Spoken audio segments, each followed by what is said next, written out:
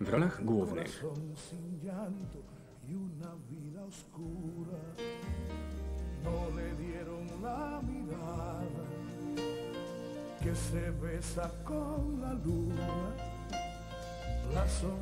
Seniora, odcinek 28. llanto, todo fue mentira. Y el alma le cambió, perdió la fe y respiró venganza cada hora sin saber que el tiempo no te deja ver. Cómo es que siempre vuelve hacia el principio cada vez. Señora, a veces la vida nos lleva hasta la locura y solo nos salva el amor, el milagro. Scenariusz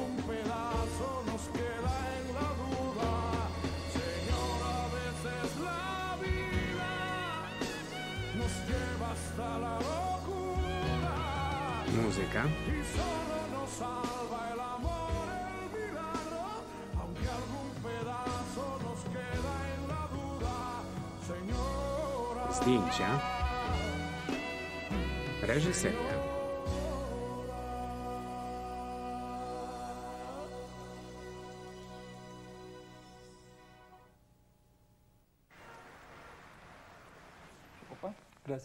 Pi, dzięki Ramiro.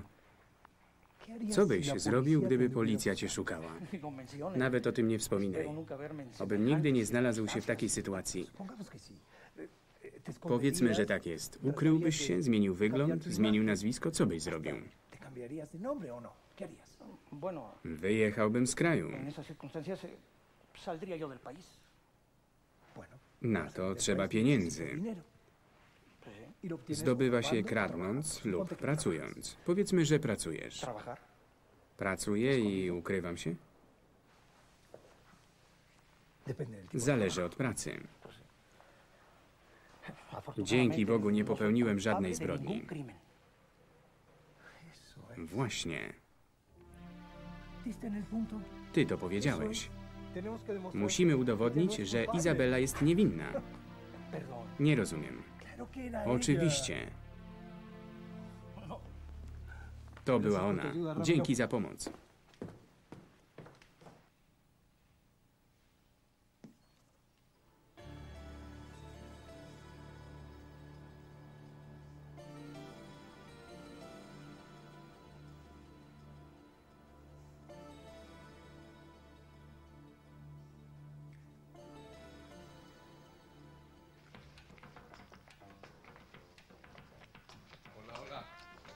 Jak się masz?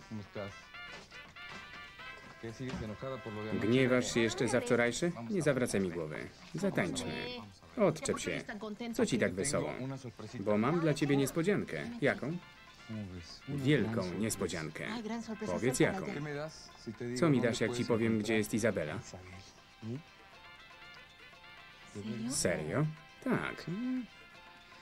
Pracuję w domu Wiktorii. Pamiętasz, mówiłem ci, żebyś tam się zatrudniła. Ona dostała tę pracę. Naprawdę tam pracuje, przysięgam. Niemożliwe.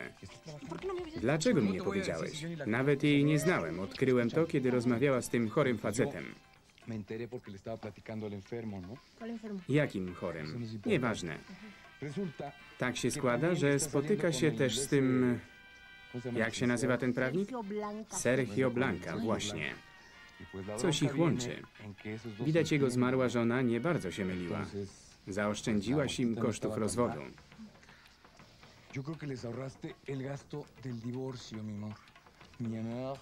To niedobrze. Skoro jest z nią, widać nie wierzy, że to Izabela zabiła tę zazdrośnicę. Chyba nie. Będą problemy. Jeśli oboje rozpoczną śledztwo, mogą... No wiesz, wystarczy, że złożę im wizytkę. Wchodzisz w to? No, Nie sądzę. Mówisz poważnie? Zrobiłem dość, dostarczając ci informacji.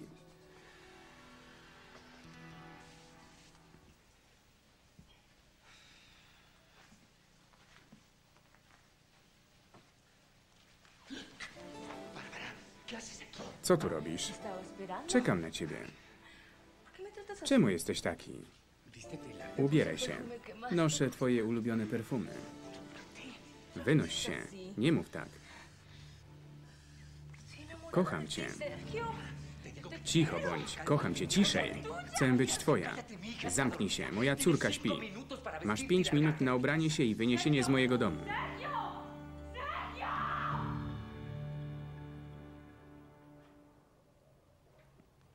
¿Qué pasó? ¿Cómo te fue? Jak się masz? Jak zawsze. Wspaniale. Liczę, że mnie przeniosą i że będę mógł wyjechać jak najprędzej. Co się stało z Ariadną? Zerwaliście? Tak. En fin, quizás esto To chyba najlepsza rzecz, jaka mogła nam się przydarzyć. Ostatnio wszystko, co robiłem, przysparzało jej kłopotów. To przez jej matkę. Nagle bardzo zbliżyła się do matki. ¿No? Nic na to nie poradzę. Jutro porozmawiam z dziekanem.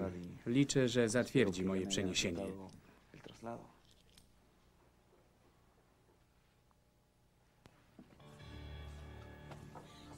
Niewiele od ciebie chcę, proszę. Wynoś się z mojego domu. Nie proszę o miłość.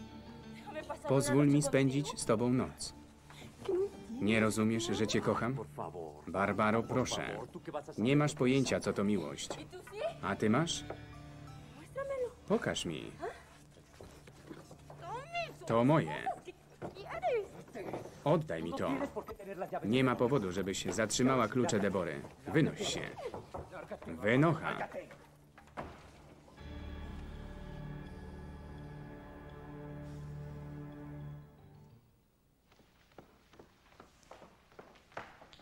Ariadno, ¿no nie słyszysz? Słyszę. Czego chcesz? Czemu tak się do mnie odzywasz? Powiesz mi czy nie? ¿Por qué estás tan grosera Czemu jesteś taka niegrzeczna? Powiedz mi lepiej, kiedy opuścisz tatę i odejdziesz z kochankiem. Wiedziałam, że rola kochającej amorosa wyrozumiałej matki nie potrwa długo. no. Milcz. Uważaj, co mówisz. Myślisz, że zmieni mi to moją opinię o tobie? Gdybyś nie była moją córką, wszystko byś mi zabrała? ¿Quieres hacerlo con Tak samo jak tacie? Zatrzymaj wszystko, co jest w tym domu. Nie zależy mi na niczym. I tak wszystko jest twoje. Powtarzasz to codziennie. Owszem, wszystko tu jest moje, nawet ty. Oszalałaś. Ariadna. Powiedział jej. Niech to szlak. Powiedział jej. ¿Pasa Czy coś się stało? Czego chcesz? Wynoś się. Niech to szlak. Maldito.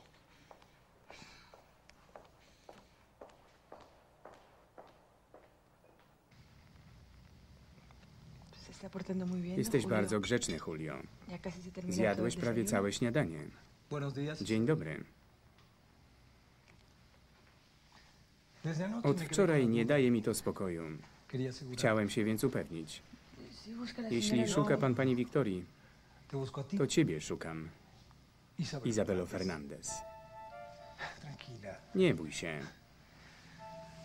Mnie możesz zaufać. Czemu pan to robi? Może dlatego, że wspominam dziewczynę, którą obroniłem w San Gabriel. Nic nie mów. Wiedz tylko, że masz we mnie przyjaciela. Días. Miłego dnia. ¿No? Nie chcesz kanapki? Co ci jest? Dziś piątek. ¿Por qué Bardzo no tęsknię za dziadkami.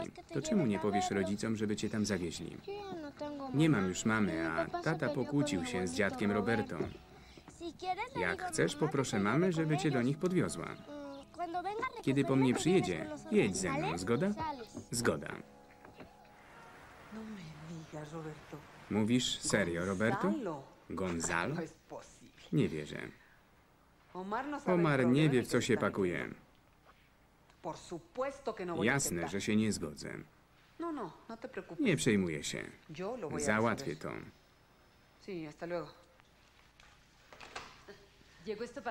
Proszę, to miesięczne zestawienia.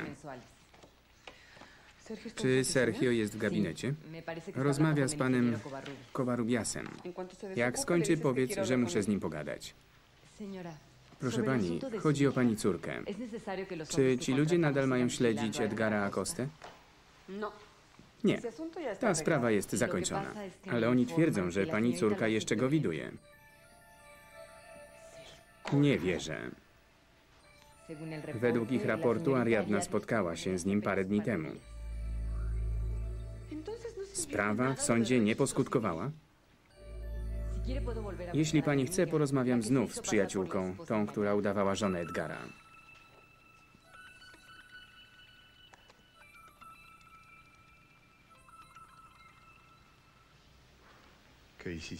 Coś ty zrobiła Ariadnie. Wszystko było farsą ukartowaną przez ciebie. Elvia, Elvio, chcę teraz porozmawiać z panem Cervantes. Cervantesem.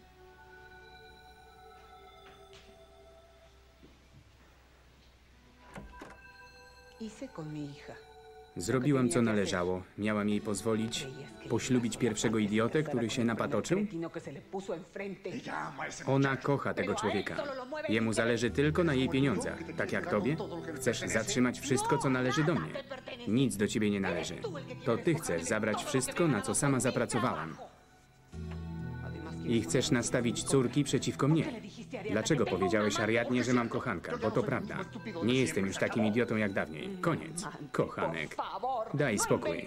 Nie wymyślaj takiego usprawiedliwienia dla naszego rozwodu. Chcę się z tobą rozwieść, bo mam ciebie dość. Wszystko jedno. Ale to, co wyrządziłaś mojej córce, jest niewybaczalne. Słyszałem dokładnie, co jej zrobiłaś. Po to tu przyszedłeś? Szpiegować mnie? Przyszedłem ustalić warunki rozwodu.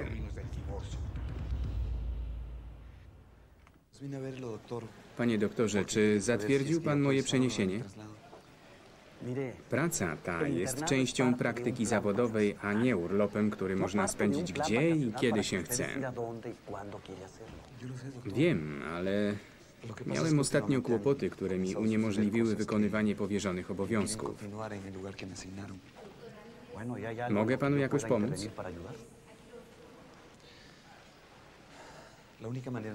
Jedyna możliwa pomoc to przeniesienie mnie dokądkolwiek. Pamiętam, że zamierzał pan się żenić.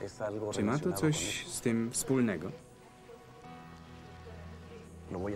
Przeniosę pana, bo doskonale pan się tu spisywał.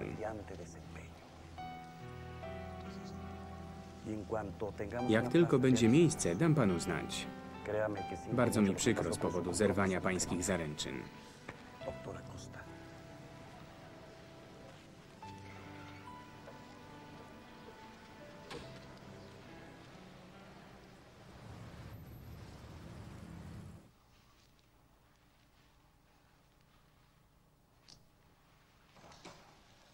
Oye, Czemu nie powiedziałeś, że ukryłaś? Izabelę w domu Wiktorii?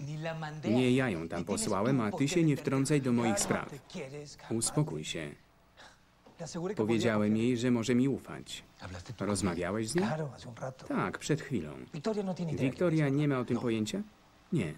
Oye, ¿por qué te Czemu tak się interesujesz? Izabelą? Dlatego, że tak jak ty no uważam, że jest niewinna. Zamierzasz wykorzystać moje córki do szantażowania Al mnie? Wręcz przeciwnie. Chcę, żeby nasz rozwód jak najmniej je dotknął. No. Czyżby? Dziś rano Ariadna twierdziła, że chce cię zostawić bez grosza. Przestań odgrywać ofiarę, miej trochę godności. Nie prosiłem jej o wstawiennictwo. ¿Qué no Nie que rozumiesz, że jej zależy, by rodzice się rozstali w jak najlepszych stosunkach? Al ponerlas en mi Nastawiając córki przeciwko mnie, zyskasz tylko tyle, że odsuną się od nas na ¿Eso zawsze. Tego lo chcesz? Ty tego dokonałaś, manipulując ich życiem. ¿Cómo es posible que Jak mogłaś zatrudnić tę kobietę, żeby udawała żonę? Edgara? Que Mieliśmy rozmawiać o rozwodzie. divorcio. ¿Por qué nuestro divorcio Nasz rozwód dotyka nasze córki.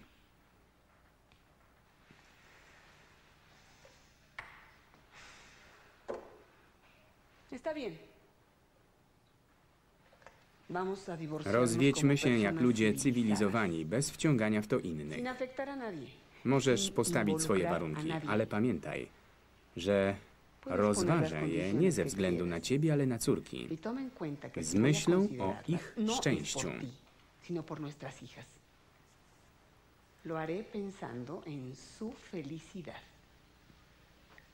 Już podałem swoje warunki.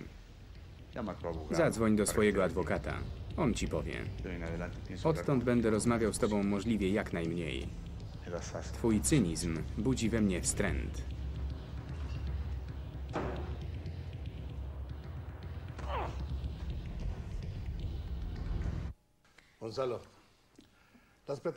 Roszczenia twojego klienta są przesadzone. Zabawne. To samo sądzę o roszczeniach twojego. Muszę skonsultować to z Wiktorią. Dowiem się, jak ona chce to negocjować. No Nie ma czego negocjować. Mój no klient nie ustąpi ani na krok. Powiedz jej, że jeśli no nie podpisze, rozwodu nie no będzie. No Omar nie jest tak nieugięty. Skoro no Wiktoria jest, ¿por qué czemu no? on nie może być? No Nie chcę zabierać ci czasu. Jak dostaniesz odpowiedź, daj mi znać. Następnym razem lepiej byłoby rozmawiać w ich obecności. Nie sądzisz? Mój klient przyjdzie tylko podpisać postanowienie. Oni mieszkają razem. Dobry prawnik nie powinien wyciągać domowych szczegółów przy swoim oponencie. To nieprofesjonalne. Poco profesional. He estado pensando en acudir a la policía. Myślałem o pójściu na policję. Sería una locura. To szaleństwo. Han Muszę się dowiedzieć, czy coś wiedzą o prawdziwym mordercy, czy nadal uważają Izabelę za główną podejrzaną. ¿Y Wiesz, jaki mógł być motyw zabójstwa? No, no Początkowo nie rozumiałem tego. Teraz myślę, że może pewna kobieta chciała utorować sobie drogę do mnie. Na tym prokurator oparł teorię o winie Izabeli. Isabel. ¿O anduviste con alguien A może miałeś jeszcze kogoś? Skądże? Mówię o Barbarze. Co ty wygadujesz? Wczoraj przyszła do mojego domu. Weszła do mojej y sypialni i czekała na mnie półnaga. Nie do wiary. Barbara przyznała się do obsesji na twoim punkcie, ale zabić własną ¿Matar a siostrę? no, no Niemożliwe. Nie zrobiłaby tego. Jesteś pewien? To prezent od pana Omara. Ułatwi nam porozumiewanie się. Zobaczmy, jak to działa. y Podaj mi jakieś słowo. Spróbujemy.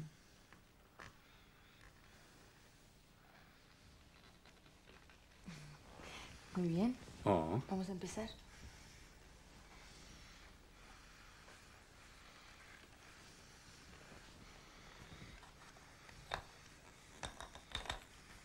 O, o, tak?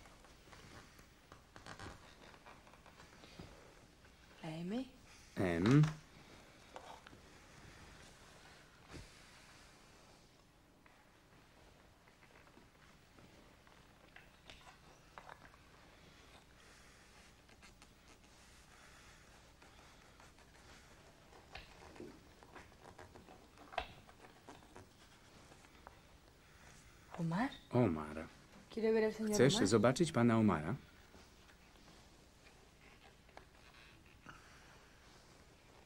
Yo creo que no tarda. Chyba niedługo przyjdzie. Ucieszy się, że możemy się porozumieć.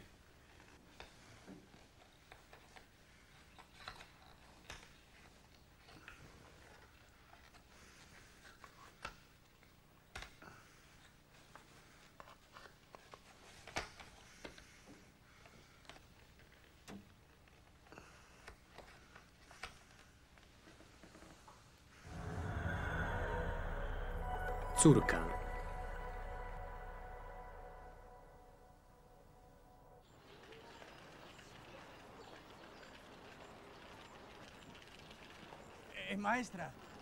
Pani profesor, przyszedłem po swoją wnuczkę, Fabiolę Blanca. Nie widzę jej. Czy odebrał ją jej ojciec? Tak. Wyszła jako jedna z pierwszych, odjechała z przyjaciółką. Nic mi o tym nie wiadomo. Dziwne. Przysięgała, że jej pan pozwolił. Nie. Jak to możliwe? Proszę ze mną. Dam panu adres jej przyjaciółki. Chodźmy.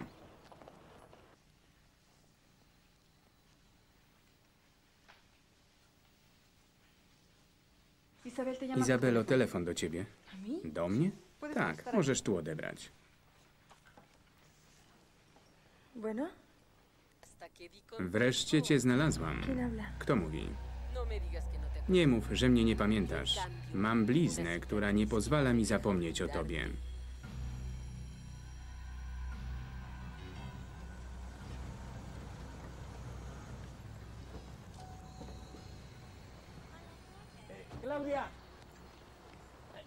Ty jesteś Klaudia?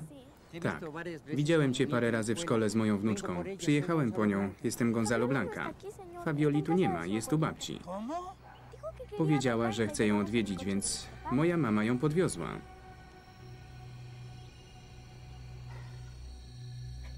Czego chcesz? A jak myślisz? Uważaj, bo tym razem się nie wywiniesz.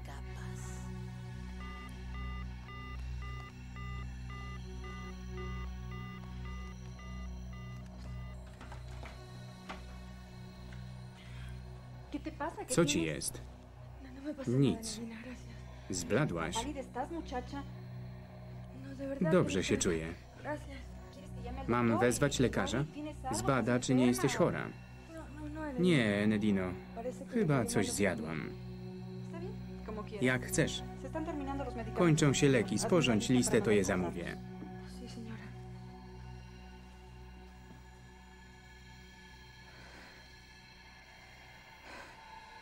Koniec odcinka 28.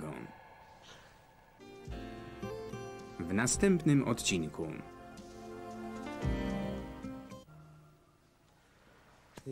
Moje małżeństwo było koszmarem. Nie przestaję się za to winić. Za co? Za to, że twoja żona była chorobliwie zazdrosna? Za to, że cię nigdy nie rozumiała? Najbardziej mnie boli, że nie potrafiliśmy się cieszyć rzeczami, które były tego warte. Wiecznie się kłóciliśmy przez tę jej zazdrość. Nie masz pojęcia, co ona sobie wyobrażała. Dlatego byliście przez rok w separacji? Tak. Nie mogłem już tego znieść. Debora dręczyła mnie przesłuchaniami. Nie mogłem nigdzie się ruszyć, żeby się nagle nie zjawiła. Roberto jest przekonany, że ją zdradzałeś. Ona też była pewna, że mam kochankę. Wersja polska i rozpowszechnianie Studio Publishing. Tekst Ewa Stockwicz. Czytał Jan Czernielewski.